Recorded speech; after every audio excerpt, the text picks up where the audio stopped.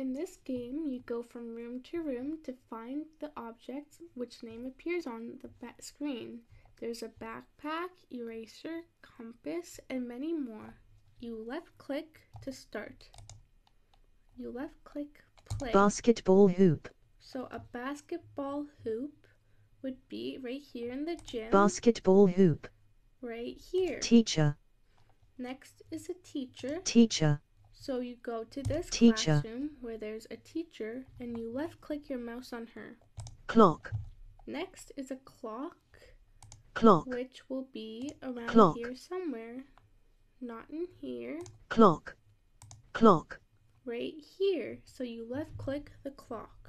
football, Next is a Football. football. So you would go to the gym for football, and click this right here, which is a football. door, Next is a door, and this is a door right here. So you click on book, that. Next is a Book. book, which will be in the classroom book, right here, and you just left click the book. compass, Next is a compass, so that would be blackboard, right here. Next is a blackboard, and this is a blackboard, so you just click on this. flask stand,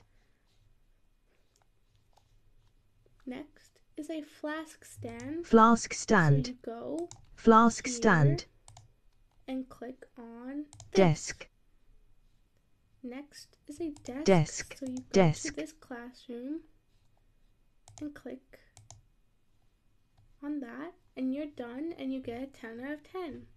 Remember to sign in or register to keep your scores logged.